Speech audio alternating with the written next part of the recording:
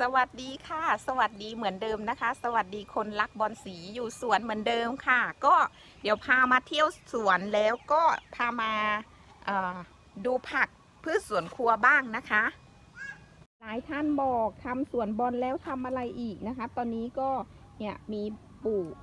ปลูกผักไว้กินนะคะ ไว้ทานเนาะผักบุ้งก็หวานไปผักชีนะคะ ผักชีนะกำลังเริ่มงอกนะคะ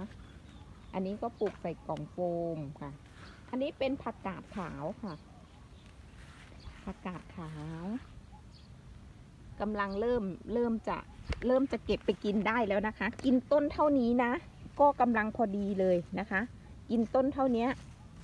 จิ้มน้ำพริกนะคะ พอดีเลย อันนี้จะเป็นกวงตุ้งนะคะ เป็นกวงตุ้ง อันนี้ก็จะเก็บได้แล้วเหมือนกันเนี่ย อันนี้พนภาเก็บไปกินแล้วนะคะ เมื่อวานนี้เก็บไปกินแล้ว เออหวานอร่อยค่ะ กินกับน้ำพริกเนาะ ปลูกหอมปลูกอะไรนะคะ อ่า เพื่อที่เวลาที่เรามานะคะ เราก็จะมาเก็บผักไปกินด้วยค่ะ ก็จะเป็นมะเขือมะเขือนะคะ มะเขือลูกดกอยู่นะ เนี่ยค่ะ มีลูกเก็บไปกินทุกวันนะคะ กินข้าวกับน้ำพริกมะเขือค่ะ แล้วก็ชะอมนะคะชะอมที่อยู่ด้านนี้ก็คือแตกยอดแล้วนะคะ แตกยอดค่ะมะละกอเราก็มีกินนะคะ แตกยอดแล้วอันนี้ก็คือเก็บได้เนาะเนี่ยพันธภาบอกว่าเก็บยอดเท่านี้ค่ะ เก็บยอดเท่านี้น่ากินนะคะน่ากิน มาอัปเดตชะอมค่ะชะอมที่ห้าสิบต้นที่พันธภาได้ปลูกไป น่าจะได้สักประมาณสองอาทิตย์แล้วแหละ ที่ปลูกไปนี่นะคะ ฝนไม่ตกเลย ตั้งแต่ปลูกมานะคะ ฝนไม่ตกเลยอาศัยรดน้ำอย่างเดียว สงสัยเป็นตัวแรงนะคะ เพราะว่าพอปลูกแล้วก็คือฝนไม่ตกเลยติดนะคะ ติดทุกต้นเลย แต่เฮียเฮียบอกว่ายังติดไม่ดีนะคะ ยังติดไม่ดี เพราะว่าจริง ๆ แล้วชะอมเขาก็จะแตกอย่างนี้อยู่แล้วนะคะ แตกใบอย่างนี้อยู่แล้ว ต้องรอดูอีกสักสองอาทิตย์นะคะนี่ เห็นไหมคะ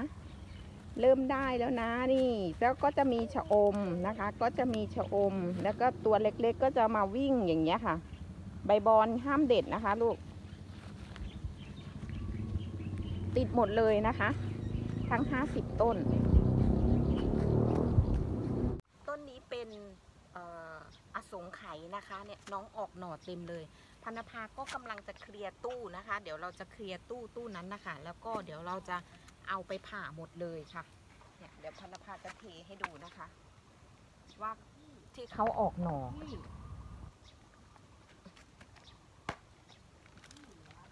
ออกหน่อแล้วเนี่ย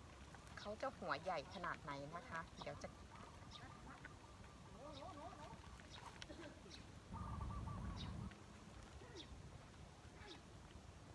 เขามีหัว หัวก็พอสมควรนะคะ ไม่ใหญ่มากนะคะนี่ไม่ใหญ่มากปนภาก็จะลื้อนะคะลื้อหัวอย่างนี้ลื้อไปเลยนะคะ เราจะลื้อไม่ต้องยกกระถางไป เพราะว่ายกกระถางไปนะคะ ก็หนักนะคะ แล้วพันธภาก็จะล้างตู้เสร็จนะคะ ตู้นั้นอะพันธภาจะล้างเสร็จแล้วก็จะลื้อเอาหัวอย่างนี้ไปนะคะ ไปแล้วเราก็ไปผ่าที่บ้าน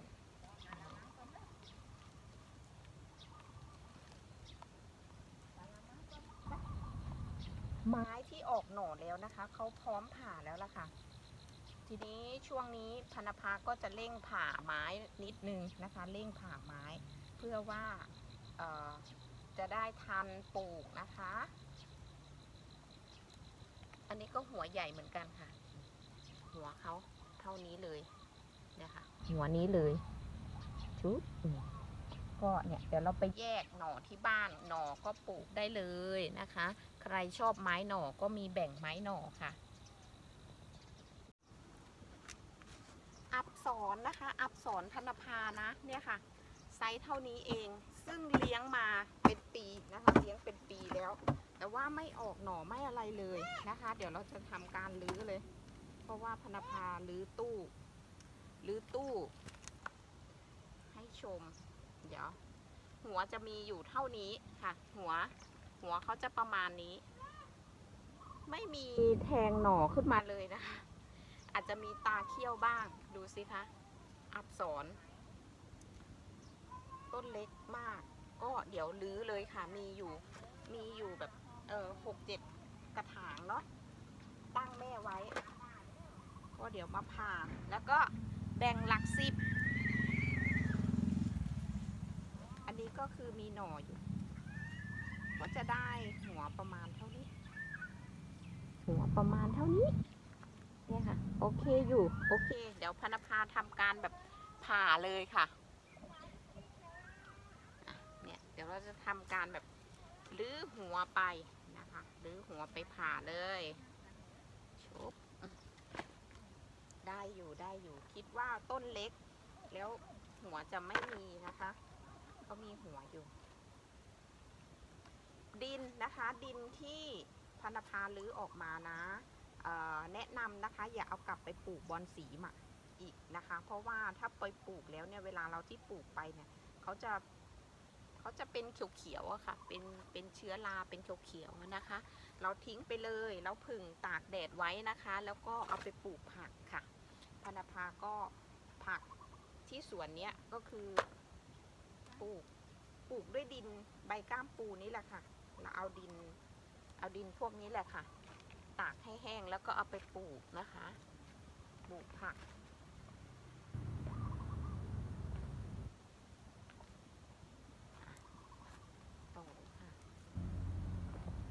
มาลดน้ำผักนะคะ แล้วก็เก็บบอลแบบมาทำสวนด้วยมา มาตั้งแต่บ่ายๆไม่ได้นะคะ เพราะว่าแดดร้อนมากช่วงนี้แดดก็ยังไม่อ่อนเลยนะคะ แดดร้อนยังแดดร้อนอยู่ ต้องมาประมาณสักสี่โมงเย็นค่ะ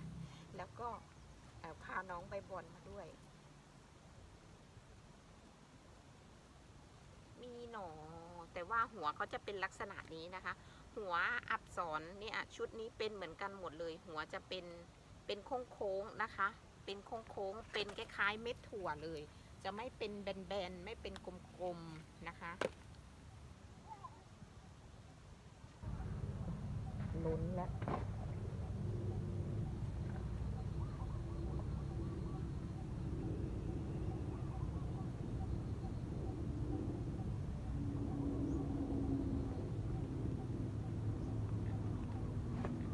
อ่าหมดแล้วนะคะสำหรับ อักษรสวรรค์ ทีนี้มาดูมาดูเอ่อเพชรจอมทองบ้าง เพชรจอมทองก็ตั้งแม่พร้อมๆกัน พร้อมๆกันแต่น้องก็ไม่โตไปไหนเลยนะคะแถมสีเขียวหายไปอีกนะคะ ยิ่งไม่โตไปกันใหญ่เลย มาดูหัวค่ะ เดี๋ยวเราผ่าเชือดทิ้งเลยนี่เนี่ยนะคะ หัวเขาเนี่ยเพชรจอมทองเขียวใบขาวอย่างนี้เลยก็เลยไม่โตนะคะ เลยไม่โตเลยทำไมล่ะคะ น้องใบบอลสวัสดีค่ะ ก่อนเร็วๆสวัสดีค่ะสวัสดีค่ะนู่นน่ะสวัสดีค่ะตรงนู้นค่ะ กล้องเนี่ยมาตรงนี้ มือเปื้อนค่ะ มือเปื้อน เปื้อนนะคะ แล้วทำอะไรไม่ได้ค่ะ อันเนี้ย เพชรจอมทอง เอาไปผ่าค่ะ ห้ามเล่นนะคะ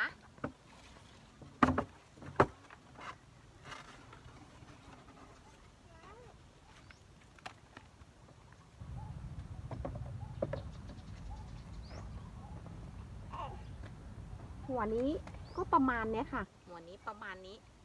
คือขาวเผือกไปหมดเลยนะคะ เดี๋ยวเรามาผ่าดูว่าลูกเขาว่าจะเผือกไหม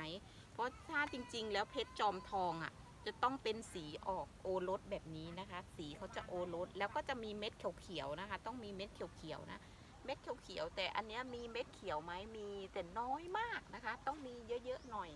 ถึงจะโตเร็วนะคะ อันเนี้ยคือเขาเนี่ยค่ะมีด่าง ด่างเขียวๆมาบ้าง แต่อันนี้ขาวไปหมดเลยนะคะ เอาไปผ่าเลยค่ะ ไม่รอแล้วนะคะ ต้นนี้ต้นนี้ก็คล้ายๆแบบกาสลองมากเลยเนาะเนี่ยค่ะ เป็นลายประคาบแต่เป็นลูกไม้นะคะ ต้นนี้เป็นลูกไม้นะลูกไม้ เดี๋ยวพนภาจะผ่าทำจำนวนไว้นะคะ เดี๋ยวให้ดูหัวเนาะลูกไม้ เป็นลูกไม้สวนอาจารย์เกียงไกรนะคะ เป็นลูกไม้สวนอาจารย์เกียงไกรโอ้หัว หัวแบบคือเขาทิ้งไปแล้วอะ่ะเป็นแบบเลี้ยงเป็นปีๆข้ามปีอะค่ะ ถ้าเลี้ยงข้ามปีแล้วหัวเขาจะผุไปแบบนี้เลยนะคะ หัวเขาจะไม่อยู่ อันนี้เป็นหน่อเขาหน่อมาคู่กันอย่างนี้ หลุดแล้วอะหน่อจนหลุดออกมาแล้วอะลูกไม้นะคะ อันนี้เป็นลูกไม้นะคล้ายๆ แบบมีลายประคาบเหมือนเจ้าโปแก้วเหมือนอะไรอย่างเงี้ยค่ะ แต่อันนี้ไม่ใช่นะคะเป็นลูกไม้ เป็นลูกไม้สวนอาจารย์เกียงไกรเพราะว่าพันธพาเนี่ยจะจะมีลูกไม้ เป็นลูกไม้สวนอาจารย์เกียงไกรมาชมอีกต้นนะคะ ต้นนี้เนาะ เป็นเเหนือดวงค่ะที่พันธพาจำได้ไหมคะต้นที่พันธพาสกิดเขี้ยวไปแล้วได้ 8 ชิ้น แต่ทีนี้พันธพามาปล่อยไปหมดแล้วนะคะ ก็พันธพาแบ่งไปแค่ต้นละ 300 เองนะคะ แบ่ง 8 ต้นนะคะ ต้นละ 300พันธพาแบ่งไปหมดแล้ว ทีนี้ต้นนี้พันธพาไม่มีแบ่งแล้วนะคะ แล้วก็เดี๋ยวจะมาผ่าต้นนี้ เพราะว่าน่าจะได้เวลาแล้วตอนนั้นก็เคี่ยวเยอะอยู่ เดี๋ยวเรามาลื้อดูหัวค่ะ แล้วก็ไปผ่าเลย ไม่รอหน่อแล้วนะคะ ไม่กระตุ้นเลยนะคะ ไม่กระตุ้นเลยเนาะเราสะกิดเคี่ยวไป น่าจะกระตุ้นบ้างนะคะ เห็นไหมที่เราสะกิดเคี่ยวไป มีรอยสะกิดเคี่ยวนะคะ อย่างเงี้ยค่ะอ่าเนี่ยลากเยอะมาก ลากเยอะมากนะคะ